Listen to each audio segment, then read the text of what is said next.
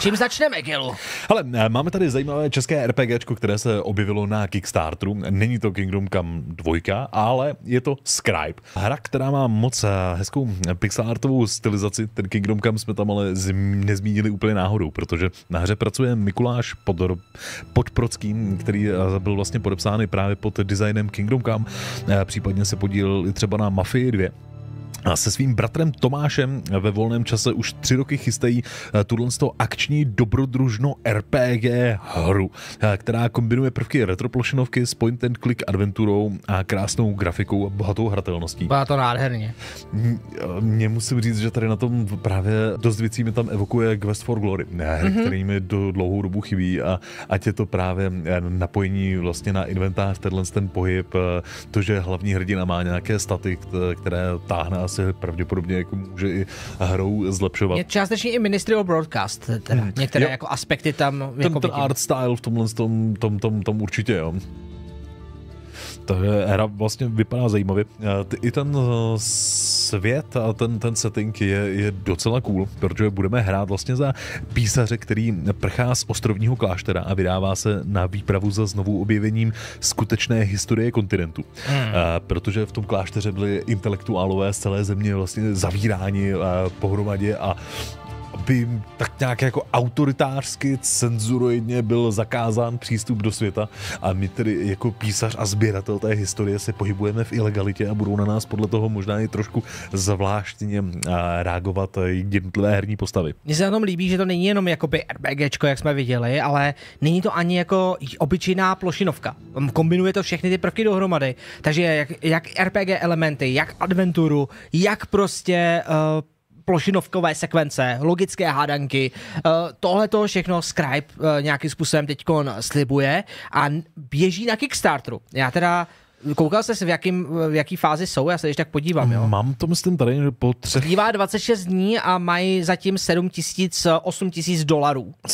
A chtěli vybrat 54 tisíc dolarů. Za, zatím jsou teprve ani ne ve čtvrtince, jakože uh, mají nás před sebou velkou dlouhou cestu, ale my jim držíme palce a třeba někoho z vás to zaujme natolik, že i z vás, z vaší uh, kapsy přijde investice. Tady jako důležitá věc, jenom kdybyste to hledali, tak přesně tady je krásně jako vidět uh, na tom Kickstarteru, jak se zrovna mají. Uh, 173 backrů, to není moc teda, čekal jsem trošku, že už to za, tu, za ty dny, protože my s touhle novinkou jdeme poměrně pozdě, hmm. tak já jsem čekal, že už v téhle době budou třeba za polovinu nebo něčím takovým. Hmm. Tak ne, teď to čekalo celou dobu, než to řekneme my tady v Showtime, tak teď se to rozjede určitě. Teď ne, ale pokud se vám to líbí, tak určitě uh, já jsem teda obezřetný poslední měsíce i roky eh, na Kickstarter, že málo kdy teda přispívám na nějaký projekty, ale znamená tohle tady, tady se chystám. Když už Takže... mají právě hotový vertical slice, eh, ty tři roky práce na tom vidět jsou, tohle je výrazně komplexnější než mnohé ukázky, ukázky bývají.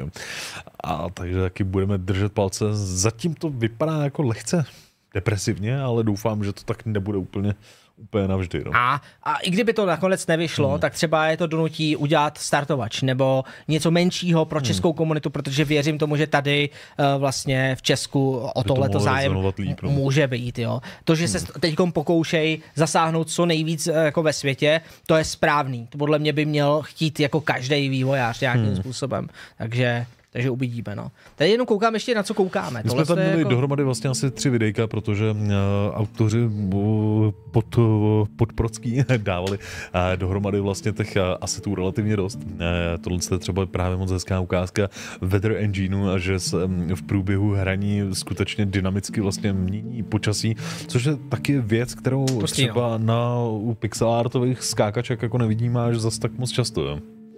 To jo, no to je, to je cool. Zároveň jako ty systémy, jako je na tom vidět hrozná, eh, hrozná inspirace různými prostě hrami, o kterých jsme mluvili, ale hlavně i ta zkušenost těch vývojářů, že oba dva jako mají za sebou evidentně něco, jako, mm. že je v tom cítit, že tohle není na koleni děláno jako šitou horkou jehlou. No jasně.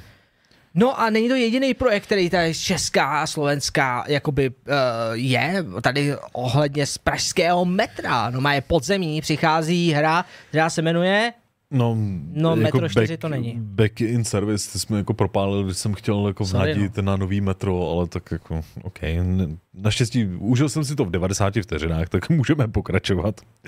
A autor eh, Back in service eh, vybírá zase na startovači prostředky k dokončení hry a sám říká, že má vlastně už funkční složku a je to opravdu v podstatě simulace metra tak, jak si to myslíme. Jako se vším všudy.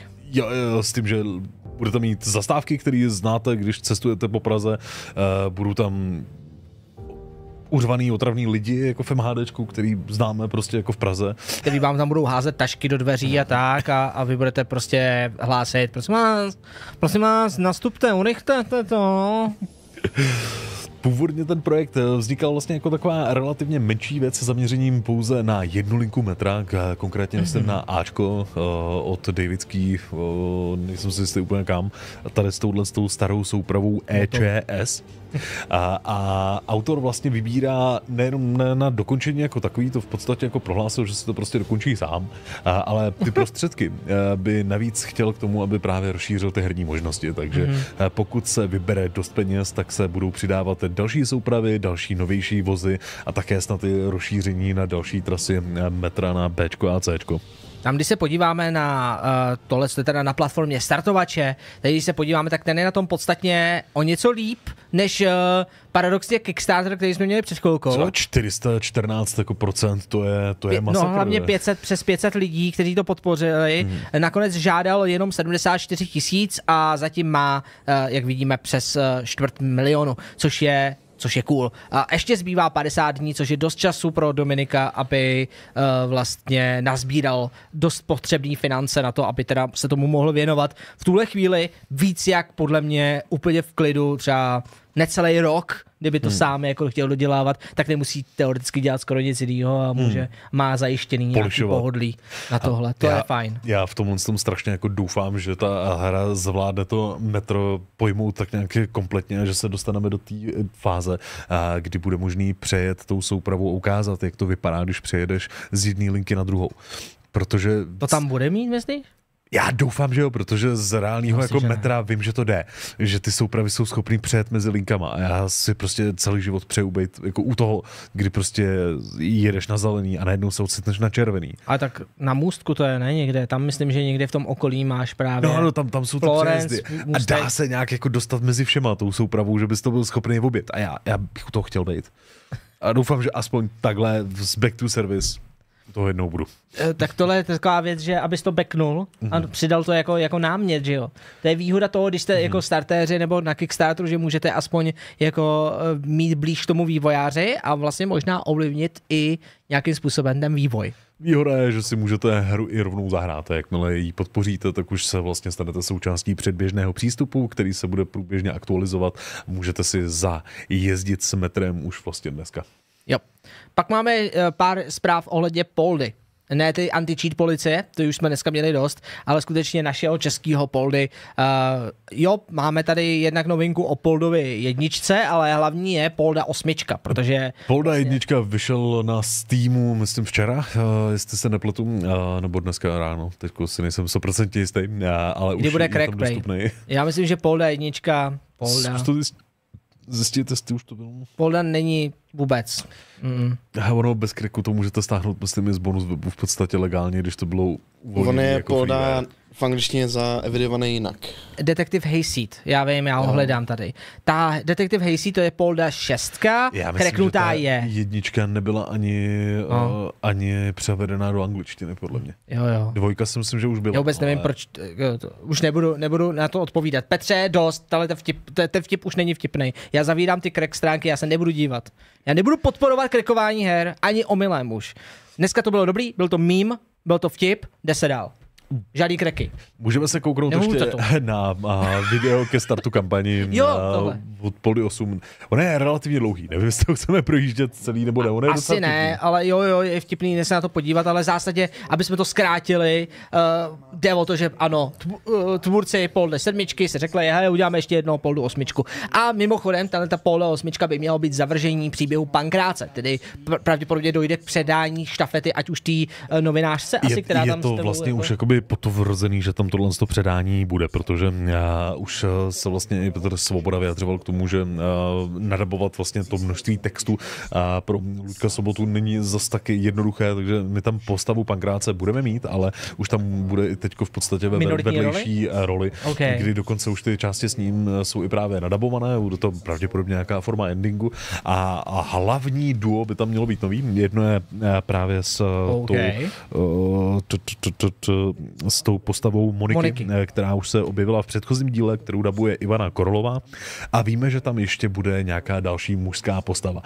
Dá se spekulovat, jestli to bude třeba někdo právě z rodiny Pankráce nebo podobně ale uh, měli bychom tam v tomhle tom jako mít takhle na výběr, takže to střídání postav asi bude nějak eh, zanecháno. Víme také, jaký bude grafický styl, ten se bude držet eh, toho, co ukázal už Polda 6 a Polda 7. Uh, víme také, že bude trošku posunutá hra ohledně eh, vyprávění a humoru. Tak jak ty poslední díly hodně stavili na celebritách, cestování po světě a tomu tom lehce jako absurdnějšímu humoru s Rambouskem a podobně, tak eh, Polda 8 by měl být trošku přízemnější, měl by se vrátit více zase jako do českých reálí a přímo snad i do té vesnice, nevím jaká Lhota to teď jako byla, jak se, jak se jmenovala. O, tady máme jeden screenshot, takže dá se asi jako představit, Yes. Kam se teda... Když myslíš, že se budou vracet do, tý, do toho měst, města, který byl v Poldo jedničce? Já myslím, že by to mohlo být asi. No. To by bylo hustý, jakože udělat jako v podstatě remake, akorát, že to nebude remake, to by mohlo být docela fajn. Mm-hmm. Hm, těžko říct. Kampaň už dopadla úspěšně, takže vlastně víme, že hru bychom měli dostat, myslím, ke konci uh, roku 2026 na Windows a Mac, o rok později potom i, na Android. Uh, Vtipný je, že to je třetí platforma na nějaké start starting starter věci. Uh, ta kampaň proběhla na Hit Hitu, což je další tahle ta věc. Jo, každý, Máme každý český vývojář si, jo, si vybírají jako mezi sebou jako různý, takže na Hit Hitu stále ještě myslím možnost je přispět i vybrat si odměny. Takže Je, ono je na to ještě vlastně dost času právě. Ten Polda už vybral něco kolem asi 200%, jestli se nepletu, mají, mají eh, 1 No, milion to je 800 super. tisíc. A, takže to, to, to jako jede docela, docela dobře. Musím říct, že při zkoumání těch odměn jsem byl trošku jako překvapený některými prvky, které tam jsou, třeba nepovedená soška pankráce. A to jsou částečně jako věci vlastně použitý v dřívějších kampaních, kdy oni se soškami eh, měl vlastně tým Zima Software dřív už nějaké jako problémy, že nebyli schopné jako delivernout, tak teďko za levnější cenu je možné si některé ty nepovedené kousky formou jako akmé udělej na barvě, poskládej si sám Jasně. si koupit a případně si eh, dokoupit třeba krabici, když jste si koupili některého z těch poldů digitálně, tak si můžete koupit krabičku bez kódu zpětně, abyste měli Jo, to je- vlastní big box. To je dobrý, to je skvělý. Jako proč ne, jsou to kreativní nápady. Hlavní je říct, že čím míň těch vlastně uh, odměn je fyzických a čím je víc založený digitálně, tím lepší, jo. Protože pro vývojáře myslím, ne pro vás, Tak- ale jakože... Tady zrovna těch fyzických je docela dost, takže mm-hmm. si můžete jako... Mají to rádi těžký, to je dobrý. je, Petr jako to má a rád. jako hodně těžký, tam teď přidali metrový sochy. Poldy anebo Jasně, sousoží. proč, je, proč ne? Dobře, Je to, je to vozená rukavice. to je, to je dobrý. To já nedám na mačo, to jako metrový. Měř na dva metry. Minimálně. Já chci na tři s mačem. Tak ta trojka tam není jako jen tak pro ně To, za nic. To prostě dá, dává smysl. No. A nebo udělat tři sošky. To ještě nikdo je moc nemá. Že koupíš tři sošky a zmizej ti, že jo? Blbý. To bychom mohli prodávat. Jo, to je kreativní řešení. Hmm. Každopádně přejeme vývojářskému týmu, eh, těšíme se na uh, Poldy 8, těšíme se na rok 2026. Bude to, bude to skvělá věc. yes. A pojďme oslavit úplně na závěr, nebo prostě závěrem uh, vlastně showtimeu Amanitu. Amanita totiž, a možná jste to nezaznamenali, uh, součástí GDC byla i Independent Games Festival, uh, vlastně vyhlašování cen a to prosím vás získalo prvenství za Excellence in Visual Art, prosím vás, Phonopolis.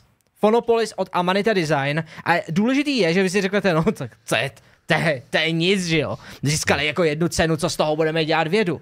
Jde o to, že Amanita má, drží aktuálně prvenství v největším počtu ocenění za ty roky v rámci IGF. To je velký úspěch, takže jenom velká gratulace a jo, držíme palce s dalšíma hrama. Jo, Já, to je možný dávat jim cenu, když ta hra ještě nevyšla? To je strašný. Uh, jako jo, no, je to, je to zajímavý, ale víš co, tohle je podobný uh, vlastně uh, věc, my jsme taky získali cenu za mačo, To je pravda.